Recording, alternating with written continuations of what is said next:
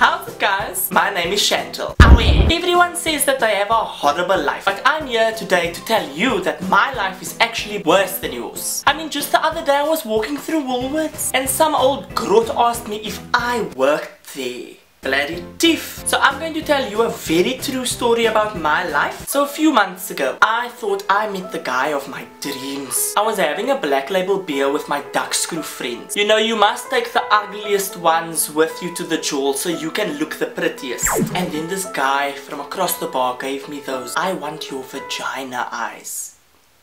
But you know I always play hard to get so he bought me one drink and then I went home with him. At his house in Kuilsriver I said Keiki I am only here for three things. I'm here for inches, I'm here for dalchies and I'm here for pilsig. Now he didn't smoke and his thief sister ate the last dalchie. Bloody mate. So you know then what went down. But then a few days later when I went to his house the master puss had someone else in his bed. My boyfriend was cheating on me. I was about to moor the Holy Spirit out of his bed. But then I saw the person who came out of his bed. It was a man. My boyfriend was a moffie. I shame toch. I do love the homosexuals. So after having a quick threesome with both of them, I went and I went to go download that Tinder thing. I was needed a new Burke who would love me for me. Moments later, I matched with a liquor hot piece and I met him the same night. And yeah, you are probably thinking, Chantal, that's very dangerous. He could be a rapist or a pedophile or a child molester. No, no, no, no, no, honey. If someone tries to rape me, I will rape the Naya back. My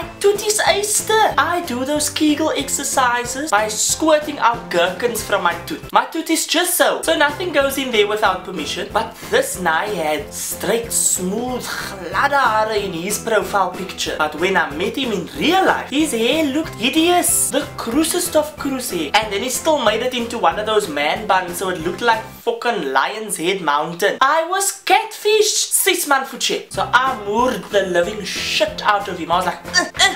I was like Vegeta my bro. I used my body as a vessel and I channeled my inner Satan. So I went home that night and I had a chill night with my friend. But then my friend told me something very very weird. She said, oh, Chantal, you glowing? I was like, the puss? What's a puss glows in the night? So I quickly went to the bathroom and took a pregnancy test because the only time a girl will glow is if she's wearing the wrong foundation or if she's pregnant. And vrachtiva, it turns out I'm pregnant! After that, I was very upset and I was very distraught. My sugar levels was yummels worth. So I went to the doctor. He kept feeling up my teta. He felt this one up liquor just here. I was like, for check you push. Buy me a Gatsby before you pull such cuck off. But then he told me he wasn't feeling me up. He actually found a lump. I had cancer. So to say thank you to the doctor for finding my cancer, we pumped each other stickingly on the hospital Yeah, it was liquor. But then when he fingered me, I got my period.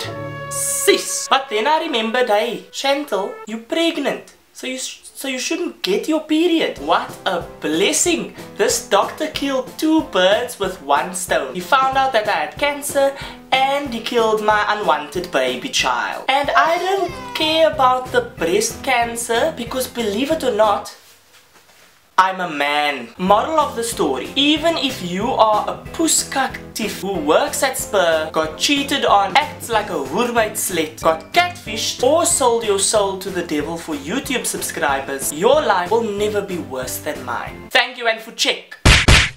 Hey guys, thank you so much for watching this video. Make sure to subscribe and like this video if you want to hear some more of crazy stories. And make sure to share this video with your friends. Peace and love keep laughing.